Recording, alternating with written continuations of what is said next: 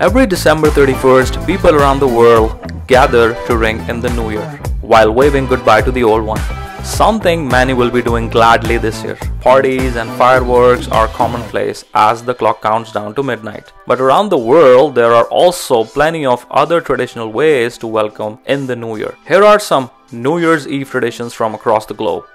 In New York, New Year is celebrated with ball drop at the Times Square. The first ever lighted iron ball was only 5 feet in diameter and very first drop was on the New Year's Eve 1907, one second after midnight. Since then, it's been celebrating. The ball has gone through some major transformations in its 100 plus years. In Brazil, people gather on beach wearing white as a tradition for the New Year. While celebrating New Year, they dance to samba music and dazzled by the massive fireworks. It all started officially in the mid-1950s.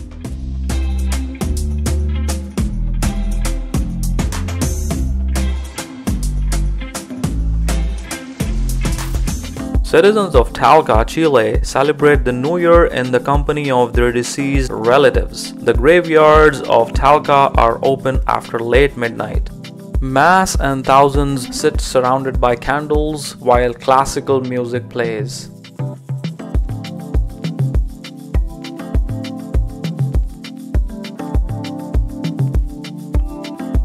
The Queen of Norway invites her royal guests from across the world to take part in preparing a Nordic dessert, which is a tall layered cake with marzipan frosting and often decorated with flags and other ornamental items.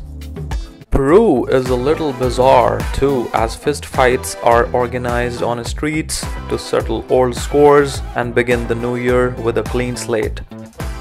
Crashing in the new year by breaking some porcelain People throw the crockery at the doors of friends and neighbors to get rid of any ill will or aggression. The bigger the pile of dishes in front of your door, the more luck you are said to have the next year.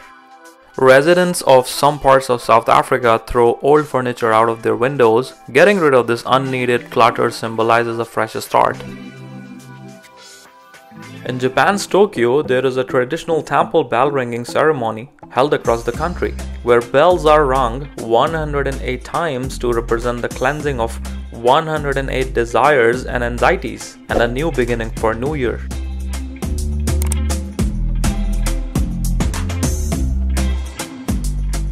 In Czech Republic, the custom of cutting an apple in half and reading one's fate from the shape of the core is even older. If the seed form a cross, bad things are coming. Stars represent luck. A dish with lentils is often served at midnight. This will lead to financial success. Eating exactly 12 grapes for good luck. The tradition started in the 1800s by wine growers to sell more grapes by the end of the year. The grapes are eaten at 12 on New Year's Eve. In Colombia, if you hope to travel in the next year, you take an empty suitcase and run through the neighborhood as fast as you can. On New Year's Eve, families in the Philippines make sure to serve 12 spherical fruits, which are believed to represent prosperity because they are round like coins. As for the lucky number, each fruit represents one month of the year. The fruits usually take center stage at the table during the midnight meal.